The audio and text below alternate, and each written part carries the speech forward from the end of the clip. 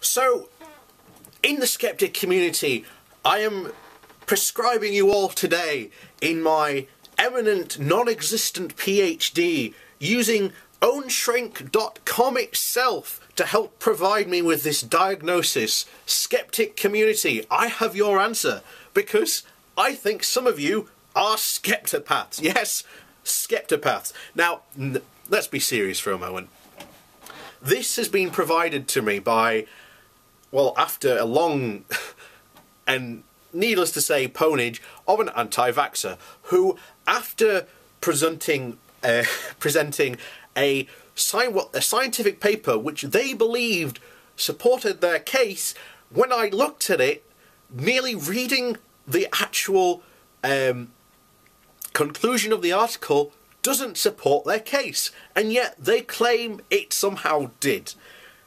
So immediately I was called a skeptopath. Now, what is a skeptopath and how did this come about? Well, believe it or not, this has been around uh, on the internet for quite a while. A couple of years ago, I was involved with a, with a guy who was claiming that psychic phenomena and psychics and ghosts do exist. I'm like, okay, where's your proof? And he was sending me all this stuff, and I'm just like, I'm sorry, but none of what you're saying is well the article the things that you're providing me first of all aren't credible um you once linked me to a guy who claimed that he could glow in the dark and now you're now you're calling me a skeptopath because I am doubting your claims of this psychic phenomena. Well, I basically said to him, look, if you think psychic phenomena exist and you can, because he said he can prove that he exists. Well, I said, go and do the James Randi experiment.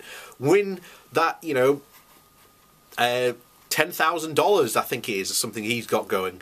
So immediately said, oh, well, you know, you just won't accept it because you're a skeptopath. I went, what? so how can you tell then if you're a skeptopath? Because I've been told this by him and now this anti-vaxxer. So these are the points, according to ownshrink.com, a link he sent to me, the anti-vaxxer, that apparently makes me a skeptopath.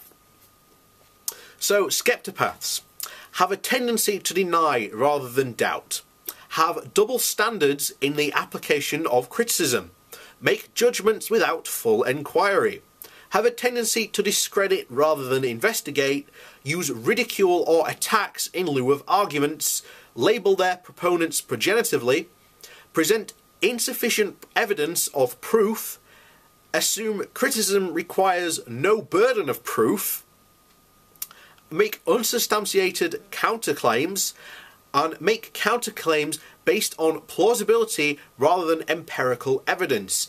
Suggest that unconvincing evidence is grounds for dismissing it.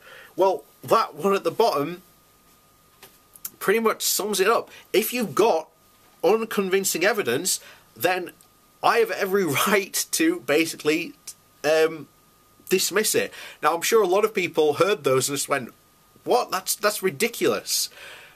Because you've got to understand where this is coming from. This is the last bastion of people who believe in ghosts, uh, believe in psychics. At least that's where the realm I thought the people actually believed this.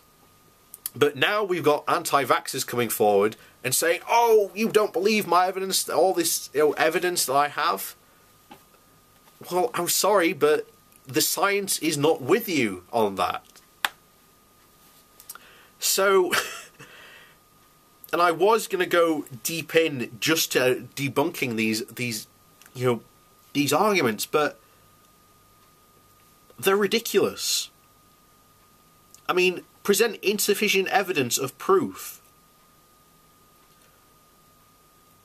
Or sorry, present insufficient evidence or proof. Depends what you're talking about.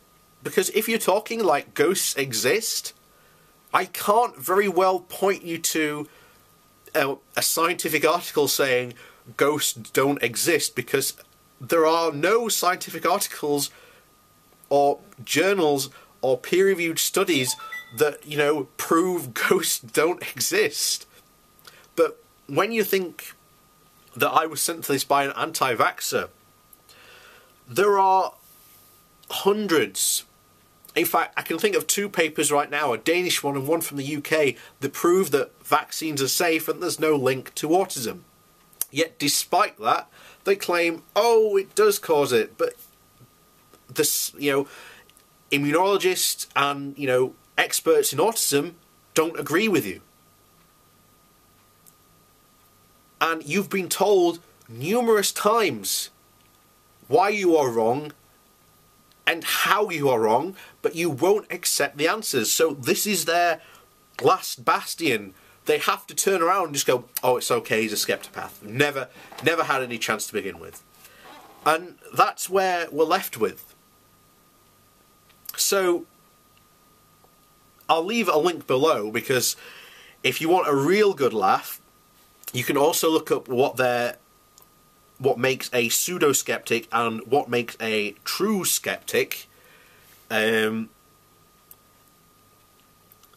which they are they are there's some of those that are just flat out hilarious but just the skeptopath itself making up a psychological or disorder to label people with it because they don't like the fact that they can't present evidence of their claims to be true.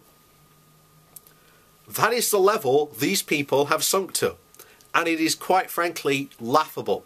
It really, really is.